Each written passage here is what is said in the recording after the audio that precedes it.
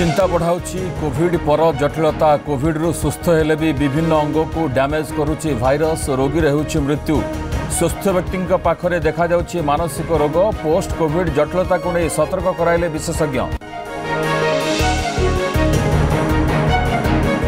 আরম্ভ হল মেগা টিকাকরণ রাজ্যের এক কোটি ছুঁলা টিকাকরণ টিকাকরণ কেন্দ্রের ফটো লাগবা নিয়ে জোর ধরিলা রাজনীতি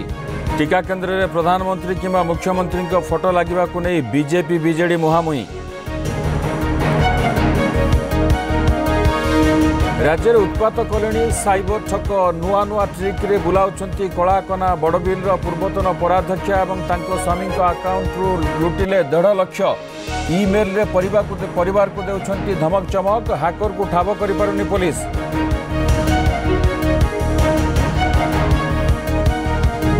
ବିପଦରେ ହୀରାକୁଦର ଷାଠିଏ ବର୍ଷର ଚିପିଲିମା ପାୱାର ଚ୍ୟାନେଲ ପାଣି ଚୋରି ସହ ଖୋଳି ଘାଇ କରିଦେଲେ ମତ୍ସ୍ୟ ଜାଆଁଳ ଉତ୍ପାଦନ କେନ୍ଦ୍ର ଅଧିକାରୀ ଏବଂ ଠିକାଦାର ଘଟଣାର ଭିଜିଲାନ୍ସରୁ ତଦନ୍ତ ଦାବି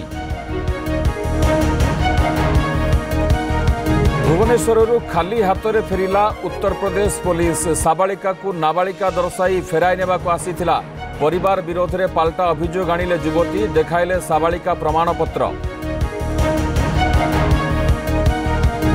ୟୁଟ୍ୟୁବ୍ରେ ଆଜିଠୁ ପାଠ ପଢ଼ିଲେ ପ୍ରଥମରୁ ଦଶମ ପିଲା ଜୁଲାଇ ସାତ ପର୍ଯ୍ୟନ୍ତ ଚାଲିବ ପ୍ରଥମରୁ ଅଷ୍ଟମ ଶ୍ରେଣୀ ଛାତ୍ରଛାତ୍ରୀଙ୍କ ପାଠପଢ଼ା